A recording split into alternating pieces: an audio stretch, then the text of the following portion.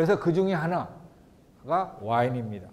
프랑스 사람들이 레드 와인을 늘 즐겨 마시기 때문에 레드 와인이 심장병에 좋다라는 거가 이제 알려졌고 와인은 여러 가지 성분들이 한 천여 가지 성분을 가지고 있는데 이런 여러 가지 질병에 효과가 있다라고 알려져 있습니다. 그 다음에 이제 이 Scientific American이라는 아주 일반인을 대상으로 그 과학적인 얘기를 해주는 그런 미국 잡지인데 여기에서 뭐라고 돼 있느냐? 와인 한 잔을 마시면 여러분들 몸에서 그 발현이 되는 DNA 유전자의 발현이 완전히 달라진다 그런 얘기죠. 와인을 먹었을 때 하고 먹지 않았을 때하고. 이게 유전자에 의해서 모든 게 결정이 되는 게 아니라 어떤 유전자가 어, 느 때 발현되는가는 여러분들의 마음가짐과 행동에 의해서 결정이 되는 거예요. 와인 한 잔을 마시면 마시지 않을 때보다 훨씬 다른 형태의 그 유전자 발현이 된다 그런 얘기입니다. 그래서 지중해식 그 다이어트는 뭐냐? 레드 와인을 한 잔 마시는 거, 마늘, 올리브 오일, 호두 오일을 즐겨 음식에 섭취하는 거. 그리고 라이프 스타일. 너무 심각하지 않는 거. 이 북구라파나 미국 사람들 보면 굉장히 심각합니다. 대신 그 사람들은 연구나 공부를 많이 해요. 그 프랑스나 이태리나 스페인 사람들은 룰라다 하다 보니까 공부는 별로 많이 안 해요. 연구도 그렇게 많이 하지 못해요. 그렇지만 즐겨, 즐겁게 사는 거죠. 근데 거기에 빠져서는 안 될 게 날씨입니다. 날씨. 날씨가 우중충하고 늘 구름기 없고 비가 오고 그러면은 사람의 기분이 즐거울 수가 없어요. 근데 부끄럽거나 이런 데서 사람들이 이렇게 된 거는 날씨의 영향이 굉장히 큽니다. 그래서 이제 그 내 부정동이 와인이 부정동인데 와인에 대해서 이제 어느 잡지에 칼럼을 쓰고 또 신문에도 글, 글을 쓰고 이제 그러는데 와인은 오페라와 비슷하다. 왜냐하면 오페라를 전체를 다 이해하지 못해도 즐겨 할 수는 있잖아. 이런 그 오페라 아리아 같은 거는 그 내용이 뭔지도 몰라도 그냥 들으면 좋다. 듣고 좋으면 되는 거죠. 와인도 마시면 좋더라. 그러면 되는 겁니다. 그래서 이제 그 모 신문에 계속적으로 그 와인의 과학, 과학의 눈으로 이제 와인을 본다라는 칼럼을 뭐 한 10여 회에 걸쳐서 이제 그 투고를 한 게 있습니다. 그래서 떫은 게 많은 사람들이 와인을 단 와인을 좋아하고 떫은 와인을 싫어하는데 사실은 떫은 게 좋다. 심장병 예방하는 데는 떫은 와인이 좋다라는 걸 얘기를 할 수가 있고 근데 와인을 잘 그 뭐 아시고 이렇게 그 이 와인은 맛이 어떻다라고 얘기를 하는 거는 여성들이 더 잘 어울린다, 잘 한다. 그리고 이제 와인은 감각보다도 경험이 아주 대단히 중요하다. 그러니까 눈으로 마신다 그런 얘기죠. 그래서 네덜란드에서 한 40년 동안 연구 결과를 한것 보면 와인을 늘 마시는 사람은 마시지 않는 사람에 비해서 평균 수명이 5년 더 길어진다. 그런 이제 보고서가 나와 있고 미국에서도 이 여성의 경우 매일 술 한잔 하는 여성은 뇌졸중이 마시지 않는 여성에 비해서 적게 생긴다. 오늘부터 열심히 술을 한 잔씩 하세요. 저녁에 가서. 그래서 와인에 그 여러 가지 이제 저기가 많이 있는데 그 어느 사람이 딱 그러더라고요. 아주 근사한 와인을 마셨을 때그 느낌이 뭐냐? 슈브레트의 어떤 행복한 리듬이 생각이 난다. 그래서 이제 슈베르트, 슈베르트의 음악을 골라서 지금 배경으로 들려주는 거가 이제 그 음악입니다. 그래서 종합적으로 어떻게 하면 건강한 심장, 어떻게 하면 건강한 라이프 스타일을 가질 것인가를 정리해 본 겁니다. 매일 소량의 음주를 한다. 금연한다. 그러니까 겨드랑이에 땀이 날 정도의 운동을 한다. 30분 정도. 그게 뭐냐면 빠른 속도로 걷는 겁니다. 이 관악 캠퍼스에 다니는 학생은 아주 좋죠. 적당하게 겨드랑이에 땀이 날 만큼 한 그 캠퍼스 구조를 가지고 있습니다. 그리고 비만을 피하고 건강식을 하고 무엇보다 중요한 건 마음을 편하게 먹는다. 그게 중요합니다. 그래서 와인이라는 것은 DNA와 환경에 어울려져서 맛을 내기 때문에 이 체험 학습에서 이제 와인을 택해 가지고 한 이유가 있습니다. 유전자와 환경 사이에 어떤 interaction, 어떤 형태로 interaction을 해서 그 맛을 내는가를 갖다가 실제로 체험해 볼 수 있는 건데 그 학교에서 돈을 너무 조금 줘가지고 이제 그걸 못하게 됐습니다. 그 다음에 이제, 이제 추석 명절이 다가오니까 우리 이제 술을 먹을 기회가 많아지는데 술에 대해서 좀 얘기를 해볼까 합니다. 이거는 뭐 심장하고는 관관이 없어요. 근데 우리나라 사람들이 술은 즐겨 마시는데 술에 대한 상식이 너무 없어요. 여러분들도 아마 그럴 거라고 생각하는데 소, 술은 증류주와 발효주로 나누고 있습니다. 그 나라마다 다 술이 틀리는데 중국은 술을 이 백주, 황주, 홍주 이렇게 알코올 퍼센테이지에 따라서 나누게 돼 있어요.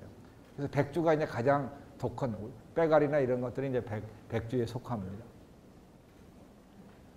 일본의 경우에는 사케라고 그래가지고 그 사케가 한 12,000가지 이상의 사케가 있는데 여러 가지 그 클래스피케이션이 있습니다. 분류가 있어요. 만드는 방법 이런 것에 따라서 이걸 이제 구분해주고 그다음에 일본도 이제 소주를 만들고 있습니다.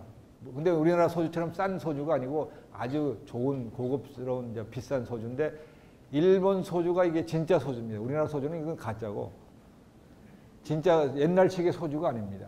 그래서 쌀로 만든 소주 그 일본에 혹시 가면 그 슈퍼마켓에 가서 소주 코너를 가보세요. 가보면 쌀로 만든 소주, 보리로 만든 소주, 고구마로 만든 소주, 감자로 만든 소주 이런 게 다 있습니다. 그래서 그걸 한 병씩 사다가 맛이 어떻게 다른가 한번 맛을 보세요. 근데 다 우리나라 진로 마시듯이 달콤하게 넘어가는 소주는 없습니다. 근데 그 달콤한 게 사실은 독입니다. 달콤한 게 좋은 게 아니에요. 자, 그럼 우리나라로 가봅시다. 우리나라에서는 쌀 막걸리가 있고 소주가 있는데 소주는 희석식입니다. 일부 증류식 소주가 있습니다. 무슨 특별한 그 무슨 뭐 무슨 화 무슨 뭐 이런 이름이 붙은 소주가 있는데 그거는 이제 값이 비싸서 사람들한테 별로 인기가 없고 희석식 소주가 주종을 이루고 있고 많은 사람들이 우리나라 소주가 국민주다라고 얘기를 합니다. 근데 그 국민주는 언제 시작했느냐? 1963년부터 시작했어요. 우리 대학교 다닐 때 쌀 파동이 나가지고 그때 이제 그 대통령이 쌀로 만들 쌀로 술을 만드는 걸 전면 금지를 시켰어요. 그래서 우리나라에서 술 문화가 완전히 죽어버렸어요. 그 전통이 아직도 지금까지 지속이 된다고 볼 수 있어요.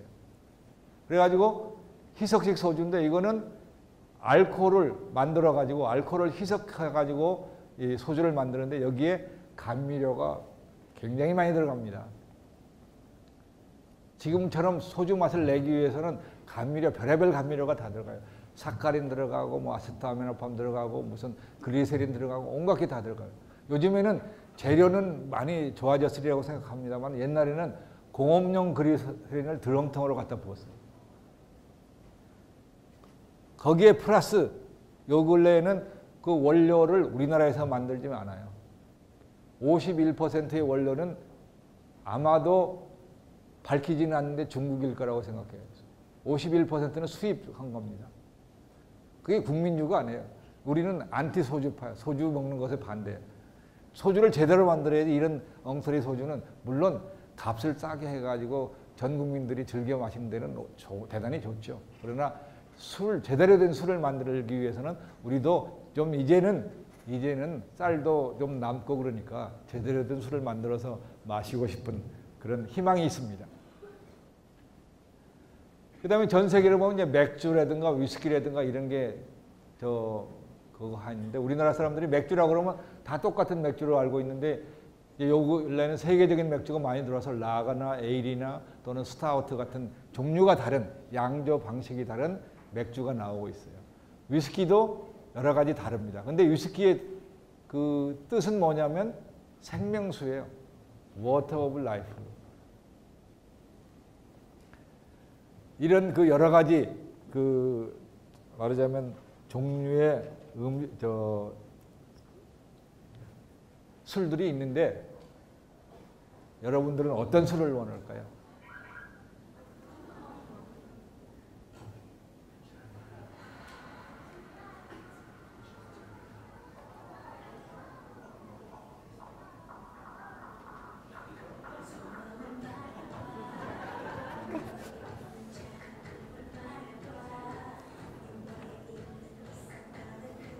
뭘 마시고 싶은지 소원을 말해보랍니다.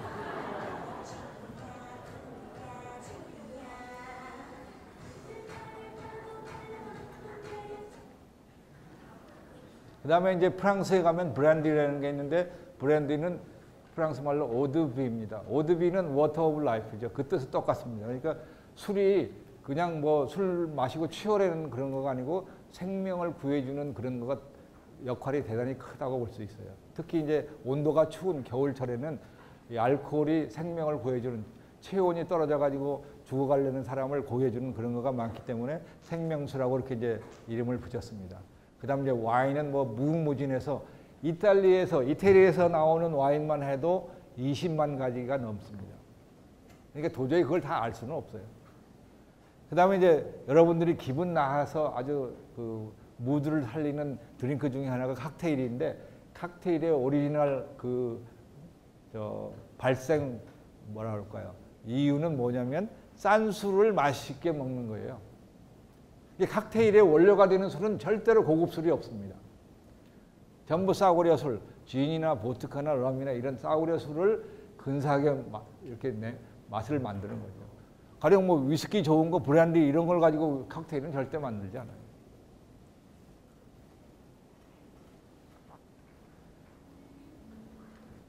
그 다음에 이제 옛날에 Sideway라는 그 캘리포니아 포도밭을 배경으로 해서 만든 영화가 있는데 그게 뭐냐.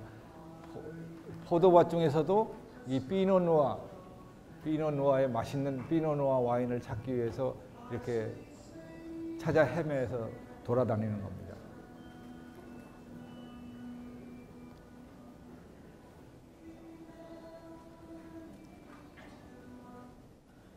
자, 이제 마지막으로 이렇게 심장, 순환을 어떻게 하면 건강하게 잘 할 수 있는가를 여러분들이 알았으니까 이번 추석 연휴에 여러분들의 건강을 위해서 우리 모두 다 같이 보트르 쌍때 한 잔의 맛있는 술을 네, 여러분들한테 우선 말로 권하니까 여러분들이 각자 집에 돌아가서 근사한 술을 마시도록 하세요.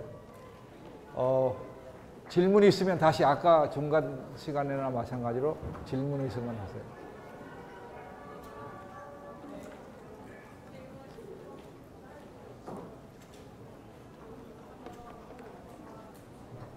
네, 저 림프의 기능 설명하시면서 암세포 전이 대부분이 림프관을 통해서 이루어진다 하셨는데 그러면 그 암세포 전이가 되는 다른 원인들로는 어떤 게 있는지 그것도 혹시 순환계랑 연관이 있는지 궁금하고요.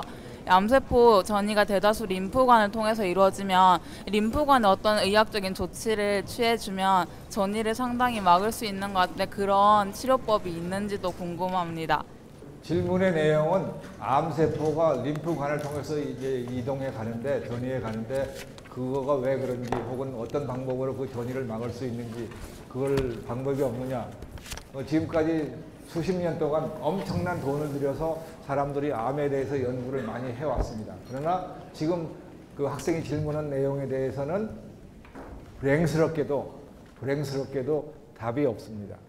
그래서 가령 그 암이 어디에 생겼다 그러면 그, 아, 그 장기를 장기 근처에 있는 림파 어, lymph node를 림프 결절을 갖다가 검사를 해봅니다. 검사를 해가지고 거기 암세포가 없으면 적어도 암세포가 다른 장기로 가지는 않았다는 것을 얘기를 합니다. 그러면 그 침범된 장기만을 떼어내면 떼어내면 그 암을 웬만큼 치료할 수가 있어요. 그러나 림프절까지 이미 가 있다. 그러면 다른 장기로 이미 가고 있다는 얘기이기 때문에 그럴 경우에는 그 전망이 그렇게 밝지 않습니다. 지금 우리나라에서 암의 사망률을 5년 사, 그 생존율을 50%가 넘는다 그렇게 얘기를 하고 있는데 그게 지금처럼 이렇게 의학적인 지식이 많이 발달돼서 암 그 치료율이 높아진 것보다는 암을 일찍이 진단할 수 있는 진단 방법이 그 개발돼서 그런 결과를 나왔다고 이제 많이 해석을 하고 있습니다. 또 다른 저기 빨간 아 콜레스테롤에 대해서 설명하실 때 콜레스테롤에 대해서 예. 설명하실 때 LDL이랑 HDL이라고 구분하시면서 두 개의 차이가 있고 하나는 좋은 콜레스테롤과 나쁜 콜레스테롤 이런 방식으로 구분하셨는데 왜 그런 차이가 생기는지 궁금합니다. 어, 그거는 이제 경험적으로 경험적으로 LDL이 높아지면 LDL이 높아지면 동맥 경화증이 잘 생기기 때문에 그렇습니다. 그리고 HDL은 오히려 그 반대로 동맥 경화를 억제하는 효과가 있기 때문에 HDL이 높아지는 그런 게 좋고 LDL이 높, 낮아질수록 좋다. 그렇게 이제 얘기를 하는 겁니다. 그 원인은 그 이 의학에서는 원인을 자세히 알고 있는 거는 사실 많지가 않고 그 결과로서 이렇게 될 때는 이렇게 되더라 라는 현상적인 것을 대부분 우리가 알고 있습니다. 네. 예, 아까 전에 말씀해주신 내용 중에서 에스트로겐이 여자, 여성의 그 순환계 질환을 막아주신다고 하셨는데 어, 조금 자세하게 어떤 어떻게 그게 가능한지 말씀해 주실 수 있어요? 어, 에스트로겐이 그 순환계를 어떻게 해서 보호해 주느냐? 그건 의과대학 강의에서도 자세하게 의과대학 강의 같으면 거기에 대해서 자세하게 얘기를 할 수가 있는데 지금 여기에서 자세히 얘기하면 여러분들 다 도망갑니다. 그냥 여러분들 아 에스트로겐이라는 여성 호르몬이 순환계의 질환을 갖다가 잘 생기지 않도록 보호해 준다. 아직도 이제 모르는 부분이 많이 있습니다. 근데 이제 그 결론적으로 보면 보호해 준다. 그리고 에스트로겐 호르몬이 있음으로 해서 그 순환계 질환만 그 보호해 주는 게 아니라 생각하는 거, 생각하는 것도 에스트로겐 호르몬에 의해서 뇌의 이 회로도가 바뀝니다. 그래서 여성스러운 생각을 하는 거죠. 그러니까 여성이 나이가 들어서 갱년기가 되면 그 다음부터는 여성스럽지 않아요. 남자같이 어떻게 보면 슈퍼 메일처럼 됩니다. 그게 이제 다 에스트로겐 호르몬의 그 효과라고 볼 수 있습니다. 또 네, 심장근 세포 구조에서 미토콘드리아 미토콘드리아가 골격근보다 심장근에 더 많이 존재한다고 되어 있는데요. 네, 미토콘드리아가 대단히 많이 있습니다. 심장근은. 그 미토콘드리아라는 게 뭐냐? 그게 이제 우리 저 첫 시간 그 서론 시간에도 얘기를 했지만 미토콘드리아가 그 에너지를 공급해 주는 장치입니다. 미토콘드리아가 없으면 여러분들이 살아갈 수가 없어요. 에너지를 미토콘드리아가 만들어 주니까. 그러니까 어느 세포를 봐서 그 세포 속에 미토콘드리아가 많은 세포다 그러면 그 세포는 활동이 대단히 많다는 걸 알 수가 있어요. 심장근은 일생 동안 끊임없이 움직이는 세포이기 때문에 심장근 세포 속에는 미토콘드리아가 많이 있습니다. 그렇게 활동이 적은 데는 미토콘드리아가 적습니다. 미토콘드리아 숫자만 봐도 그 세포의 활동성을 짐작할 수 있을 정도입니다. 또 네. 심장이 전기 신호에 의해 컨트롤된다고 하셨는데 그런 인공적으로 그 전기 신호를 만들어서 심장을 컨트롤할 수 있을까요? 전기 신호를 인공적으로 만들어서 비슷하게 어, 심장이 제대로 뛰지 못할 경우에 자기 스스로 이제 심장이 박동한다고 그랬는데 스스로 박동하지 못하는 경우에 인공적으로 페이스메이커라는 걸 여기다 심어서 거기서 전기 신호를 내보내면 그 리듬에 따라서 심장이 박동합니다. 그 페이스메이커는 우리나라 사람들도 꽤 많이 달고 있어요. 이 가슴 속에 저 절개하고 이 근육 속에다 파묻어 있는 요만한 크기의 그 페이스메이커인데 배터리에 의해서 움직이는 그 전기 시- 신호 발생 장치입니다. 근데 이제 단점이 뭐냐? 배터리가 떨어질 때쯤 되면 다시 꺼내서 배터리를 갈아줘야 된다는 게 아주 단점이죠. 그런 게 있습니다. 근데 뭐 전체적으로 심장의 기능 자체를 완전히 바꿔줄 수 있는 전기 장치는 없습니다. 그러면 그 에스트로겐이 줄어드는 시기를 좀 늦출 수 있다거나 좀 줄어들고 나서도 밖에서 주입을 할 수 있다거나 그런 방법은 없나요? 에스트로겐의 보호 효과를 어떻게 한다고요? 그 나이가 들면 폐경기쯤 아, 폐경기 이후에 에스트로겐을 투여하면 어떠냐 그런 얘기죠. 투여할 수 있는 건가요? 실제로 이제 그거 가지고서 산부인과 의사들이 세계 산부인과 의사들이 둘로 딱 나눠져 있습니다. 하- 반쪽은 폐경기가 됐을 때 특히 그 폐경기 때 오는 그 우울함이라든가 여러 가지 현상을 좀 저거 하기 위해서 그 에스트로겐을 줘야 된다라고 주장하는 학자들이 있고 반면에 또 어떤 단점이 있냐면 폐경기 때 에스트로겐을 주면 유방암이 잘 생깁니다. 음, 그래서 이제 그런 어려운 점이 있어요. 그럴 때 아주 심한 경우에는 에스트로겐을 쓰지만 웬만한 경우에는 안 쓰는 게 이제 어떻게 보면 더 안전하다 그렇게 볼 수가 있습니다. 어, 그 당뇨병 이야기가 잠깐 나왔던 것 같은데요. 당뇨병. 예, 제가 일형 당뇨를 앓고 있거든요. 예. 예, 그래서 지금 앓은 지가 거의 10년이 넘어가는데 네. 이게 당뇨를 오래 앓으면 이 심장병에도 어떻게 합병증이 올 수가 있다는 이야기를 들은 것 같아서요. 네. 구체적으로 좀 이야기 좀 들어볼 수 있을까요? 얘기가 긴데 당뇨병 있을 때 생기는 여러 가지 신장에 눈에 머리에 뭐 기타 여러 군데 그 부작용이 잘 생깁니다. 근데 아직까지 그 부작용을 완벽하게 예방할 수 있는 방법은 없고 당뇨병 자체를 잘 컨트롤해야 됩니다.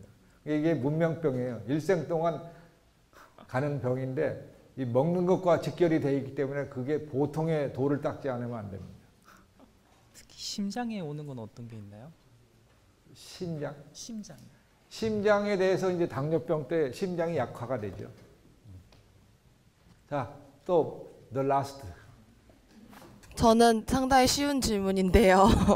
저 같은 게 술에 대해서 질문 드리려고 하는데 저 같은 경우는 어떤 종류의 술이든 한 모금만 먹으면 머리부터 발끝까지 눈, 손톱, 발톱까지 다 빨개지거든요. 술. 엄청나게. 네. 예, 예. 그건 제가 의학적으로 무슨 문제가 있는 건가요? 어, 의학적으로 문제가 있다고는 볼 수가 없는데 유전적인 특성입니다.